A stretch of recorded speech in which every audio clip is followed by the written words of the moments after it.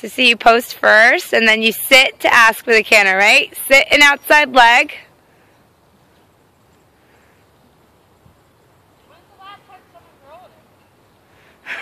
He's just on the wrong lead. Okay.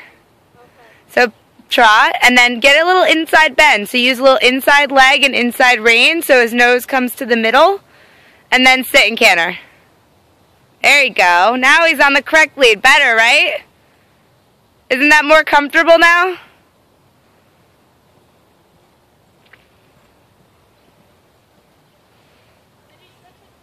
Yeah, it's correct now. Isn't it more comfortable? Yeah. Go ahead, get that inside bend. Push with your inside heel.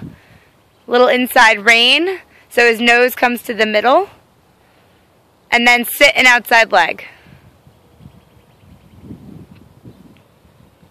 So it's correct. So you can keep him moving now, okay?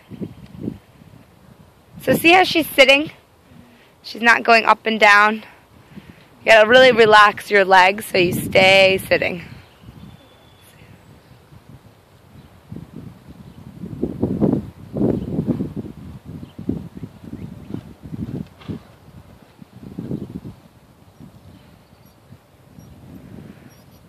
Good, Natalie. All the way around again.